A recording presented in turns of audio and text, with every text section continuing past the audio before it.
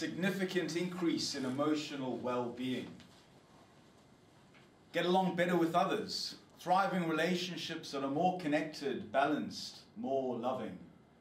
Stronger psychological immune system. Less depression, more resilient to future depression. Lower blood pressure, more effective at reaching your goals. I could carry on, ladies and gentlemen, but wow, doesn't that all sound amazing? Don't we all want these scientifically proven benefits? The quality of being thankful, readiness to show appreciation for, and to return kindness. The secret to life? It's gratitude. Like the Dalai Lama said, in order for us to carry a positive action, we must first develop here a positive vision. And that wise old Roman Marcus Aurelius, it takes very little to lead a happy life. It's all within yourself, in your way of thinking. Let not your mind focus as much on what you lack as on what you have already.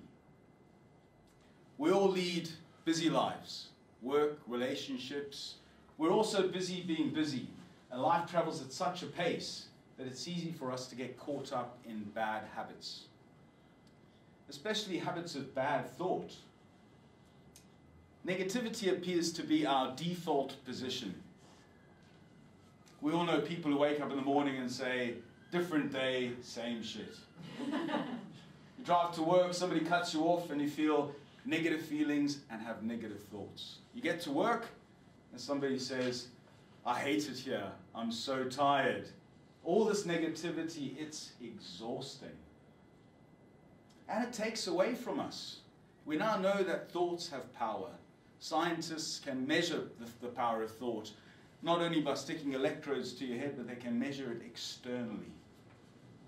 Gratitude gives us the inner joy that's resilient to external factors. It helps us to shape our beliefs and thoughts, giving us the power to lead a more joyful and rewarding life. Today, I'd like to share with you the four steps to gratitude. Now, firstly, we need to see our world through grateful eyes. Anticipate the good, look for the good in your life, appreciate the big and the small things. We also need to look for the good and the bad. You know, life's a wonderful teacher, life's not perfect. Sometimes we're in a situation and we don't understand why. But further down the road, when we look back, we can see how the dots connect and how we had to go through that situation in order for something beautiful to flourish. We need to live with the faith that the dots will connect with the knowledge that they have in the past. Secondly, we need to feel grateful. Experience it, relish it, feel the love. Feeling grateful amplifies the power of gratitude. If seeing is believing, then feeling must be the truth. We then need to share it, be generous. Catch your partner doing something good and thank them. Reach out to your colleagues, your boss.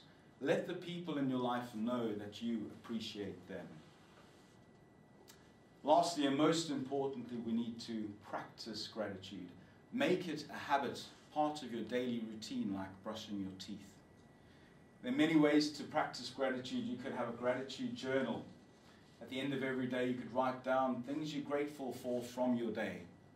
Go out, explore, and find a way that works for you.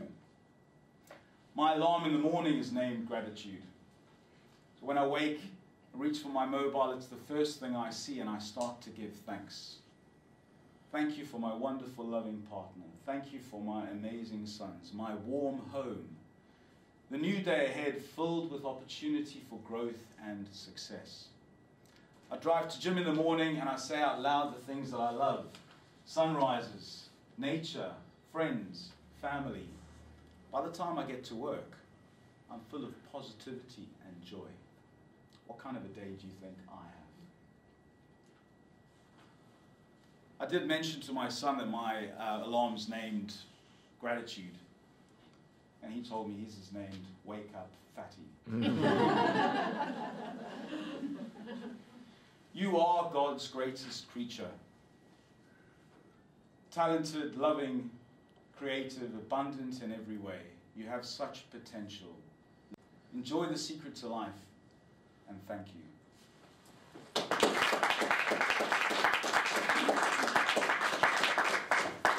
Thank you very much.